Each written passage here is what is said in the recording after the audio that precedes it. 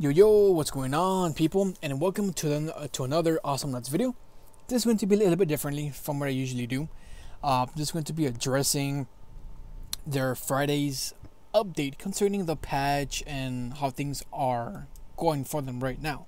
It's gonna be a little bit later than expected, you know, uh, maybe a month or two months, who knows. But of course, I won't be reading the entire thing, just this one entire paragraph concerning the Voltar's nerf. I do apologize ahead of time if I sound aggressive, offensive, or passionate, whatever you want to use. Uh, keep in mind that I do love this game. It's possibly one of the best games I've played this entire year. And just like you, I can't wait for the new patch and hopefully buy a few things if anything is for sale. With that said, let's get down to this. Now, let's talk about some of the changes we'll be making in the patch. One of the issues we're addressing with the update is the power of Voltar's drones. They are too effective at tanking turrets and their maximum damage output is a bit too high. Everything is wrong with this paragraph or with this sentence, and I'll tell you why. It is not my fault. In a way, I can understand that the what is it?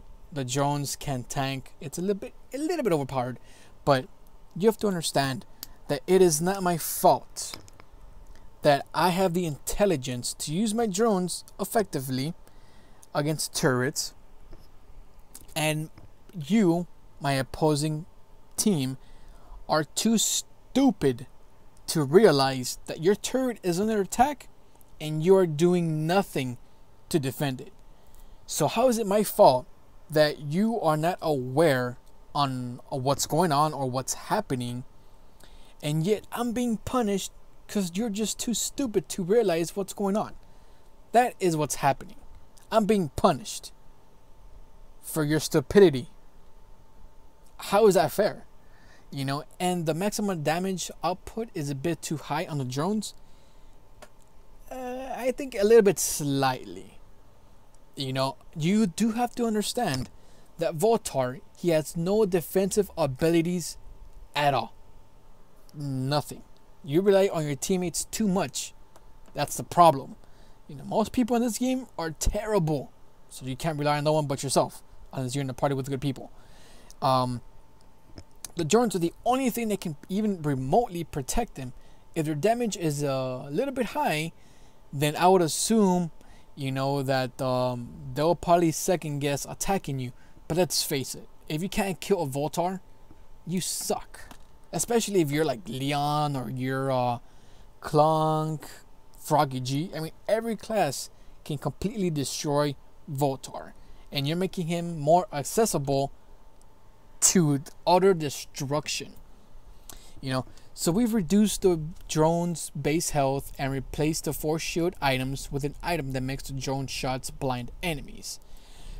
That's fine only idiots would even buy the shields to begin with because the drones are easily replaceable.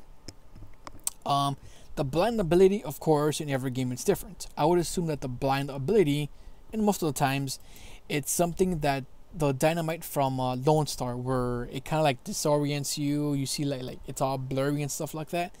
That's what I'm thinking it's gonna do. If it does that, it is useless. It is crap. It is blasphemy for to even put that there. Why? Because you can see through that perfectly. I mean, unless like you wear like two sets of glasses to even see anything. I mean, you should see that like blurriness perfectly. Unless like your screen turns black for 2 seconds, this is disgraceful.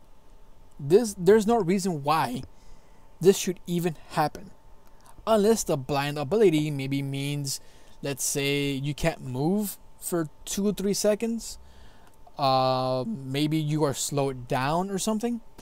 But if it's not anything that can help you it's what the hell are you people doing? I, honestly i don't understand. This does not justify the nerf. And according to them to compensate the drones now explode and deal a bit of damage when they die.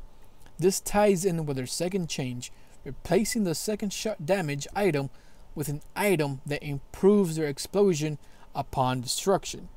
Both these changes make the drones better at support and defense, as they were originally intended. This entire sentence, or two sentences, is utter crap. I'll tell you why.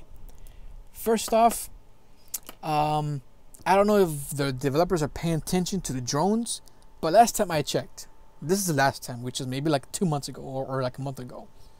The drones are in the air above Voltar's head. Last time I checked, the only other character that can fly in the air is Yuri. Everyone else is at the bottom, in the ground.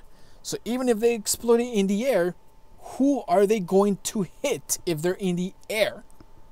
You know, unless the explosion is like the size of Clunk's explosion. That would be perfect. It'd you know what? I applaud that. If not, if it just explodes in the air, beep. What? What good does it do?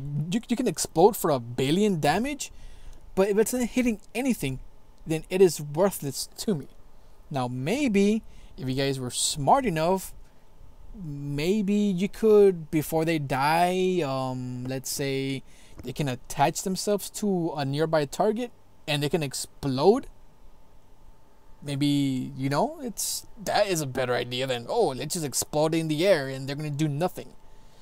You know, I honestly, if the improves their explosion upon destruction means something, it's hopefully it's actually going to do something. Honestly, if it just explodes in the air and does nothing else but that, then this entire nerf has been unjustified.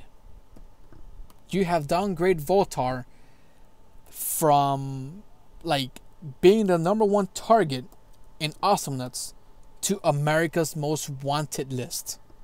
That's what you've done. You know, that's this is the way how I feel. Uh, there's more stuff into it that I want to get into it, but I think this video is a bit too long as it is. But um, let me know what you guys actually think about this nerf.